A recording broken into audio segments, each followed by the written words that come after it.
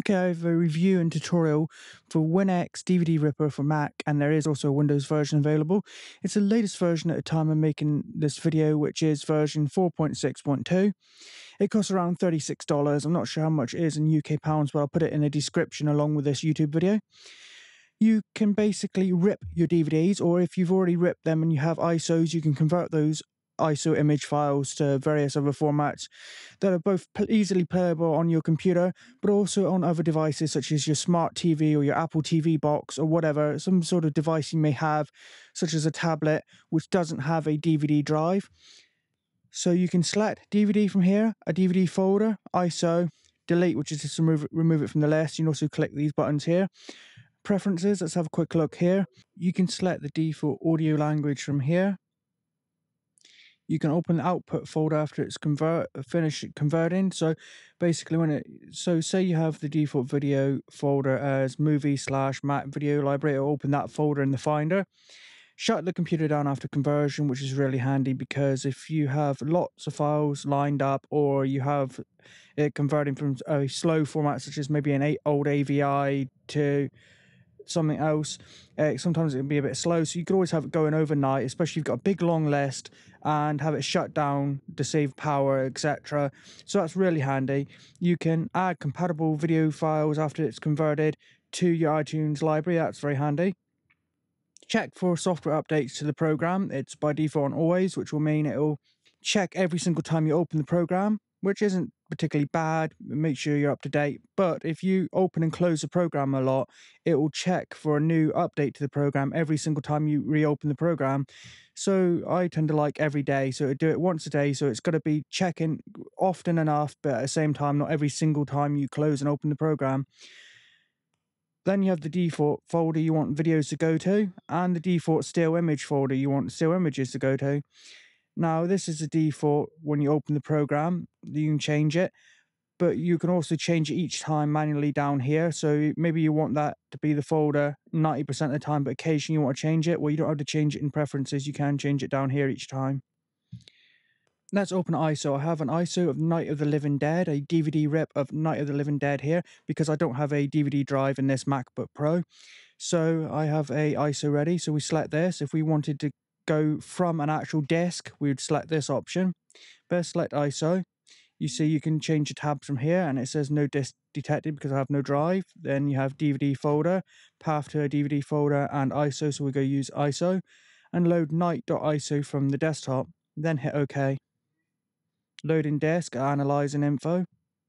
Now you get a sheet come down for output profile. This is where you select what you want the file to be ripped to or converted to. So you can go to general profile, which is just a general generic MP4 video. Then you can select from a slider low quality, which will convert faster, or high quality, which will be slower but higher quality video. And there's presets for various devices, such as just a general DVD backup, or various Apple devices, so iPhone, iPad, iPod, Apple TV, iTunes, iDVD, which is an old program that is no longer updated, iMovie for editing in Final Cut Pro, and AirPlay, so you can play using AirPlay on your MacBook. Then you have various Android mobile phones and tablets, Microsoft devices, Sony devices such as the PSP, PS3, PS4, Vita, and one of their smartphones. Then you have some other devices here, such as Blackberries, Nokia's, PDAs, and Zen. Then you have uh, various web profiles, such as converting ready to upload to YouTube, Facebook, Vimeo, or generic web video. Then you have various other common video profiles, such as a generic video Mac video, such as an again an MP4, either as an MPEG or H.264. Normally, you'd want that one, and a few other formats here. Then you have ones that should work, be better for working on a PC, a Windows PC, such as an AVI video that is Xvid. And you have Chromecast here as well, WMV, various ones here. Just if you want, if you know the person, maybe if you're converting one of your own products or whatever for somebody to watch, such as a reviewer or whatever. If you've made a movie and you've got a DVD and you're ripping it and give it to somebody else, you know they're using Windows PC, you might want to use the PC General option. Whereas if you're on Mac, you maybe want to select this or go to Apple devices and select something like the Apple TV box, and that should work on most Apple products. Then various music formats as MP3, ACC, or AC3. Then TS video here. So mostly you've got to either want to be using a generic MP4 or converting for a device such as the Apple TV. And the new Apple TV is the very newest. That is that is the new fourth gen Apple TV box, which has uh, the App Store, etc. So it does support profiles for that very latest Apple TV box, which is good. It has up, been updated for that. It does also support the older ones, such as the third gen and second gen. Now, what I'd like to point out here is it says this one's recommended, but I notice it will always convert it to resolution of 640 by 480, which is basically DVD quality. But you might not want to do, do that. Maybe you know yours is slightly bigger, like 7 um, I think it's 720, the UK DVD PAL DVDs or whatever. So you might want to select this one. It's a H.264, which is what is most compatible anyway, I think. And then it'll keep the origin resolution. So I would probably use this one here. Then you select your quality. Let's just leave it default and hit done. We can now see a preview here. We can play pause we can do a still image here. We could pause it here and hit that and that will take a still image of that frame. We can adjust the volume if we don't want any volume when we're looking at the preview or we can full screen. Hit escape on the keyboard. Now we can tags and what setting tags does is allow you to give it your own file name.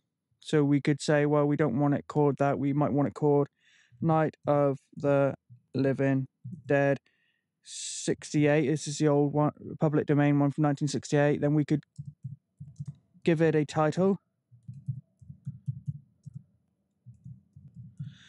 We could give it an artist name. So that could be, say, the director, or it could be the company, such as Universal, 20th Century, Fox, or whatever. I can't remember who made it. Well, I know the director, but I can't remember what company made it. I'm just going to leave it. And for genre, you might put, say, horror, and give it a comment here. And I say OK.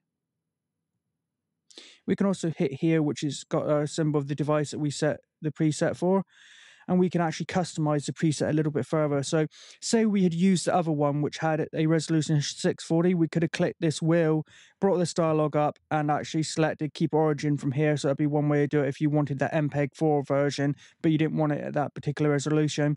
We can also select our frame rate, uh, our frames per second here. We might want to say keep origin as well then we got this, but on, this particular preset, it wasn't it won't let me select any others. You can select the bit rate here. You have a few choices, it might depend upon the preset, of course, what you can select. Keep origin for aspect ratio as well, and various audio codecs and sample rates here. This is, for, just in case you don't know, 44,100. That is CD quality audio. DVD quality and Blu-ray quality is 48,000 and 96,000 is studio quality. I doubt most devices support that. So that is something you might want to change. If you know you're ripping from a source such as a DVD or Blu-ray whatever, well, DVD in this case, that has DVD quality audio 48,000, you might want to select that to get the best quality audio. Then you select the number of channels. Maybe it's surround sound, maybe it's stereo, in which case, in you might want to change that, though probably detect it. In this case, we're using stereo, so it's two you select there. Bit rate 128 bits, and that will depend upon the quality you want. But of course, the higher the quality, the longer it will take to convert.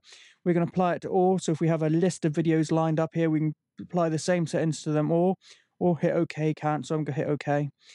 We can then use a high quality rendering engine in this product, which will get us a much higher quality end video, but it will take longer to convert.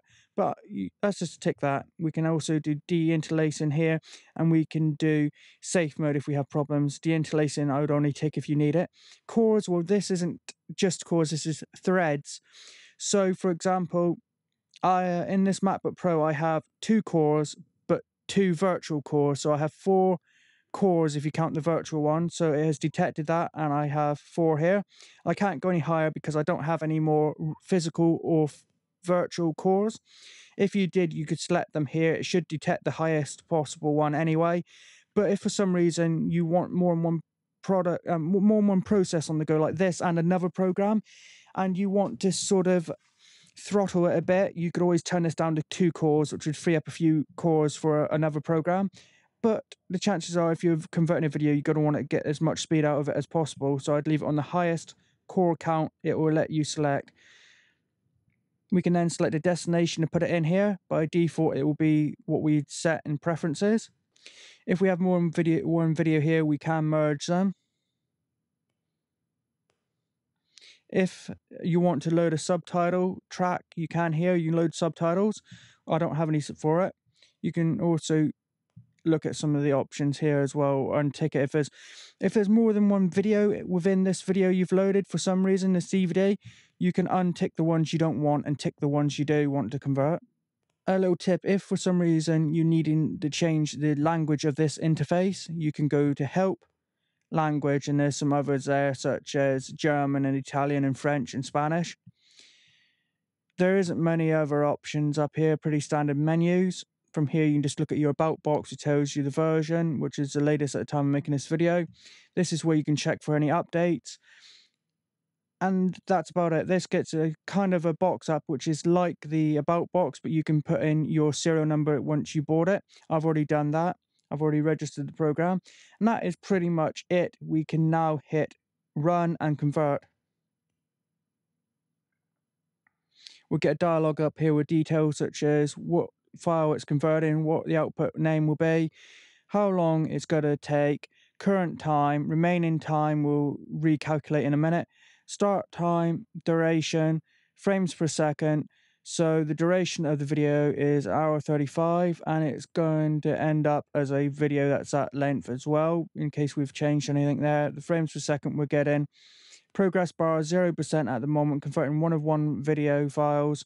We can tell it to shut down after conversion here, even if we didn't have it as default in preferences. We can do it each time manually and untick that if we don't want it, even though it, we've had it set to be turned on by default in preferences. We can change it, untick it each time if necessary.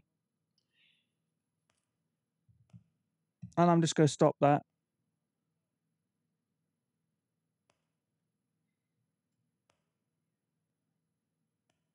As you saw, it did open the folder with the video, even though it wasn't finished. But if it had been finished, there, there would have been your folder with the video. Quite handy. So that's basically idea of how you use the program. It's very, very straightforward, very simple to use interface, especially if you've used any other video converters or rippers before. It's going to be very easy to figure out, very straightforward. It's not the fastest video converter I've used. I've used uh, one which I use on a regular basis, as I've reviewed before, which is faster. I won't say it because it this video isn't about it, but if you look up video converter on my YouTube channel, you'll find reviews I've done for other programs.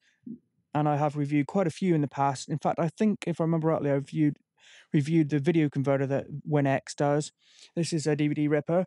It's primarily aimed at ripping from a DVD or ISO file to a video format rather than just opening a video on your computer, such as an AVI, and converting to different formats.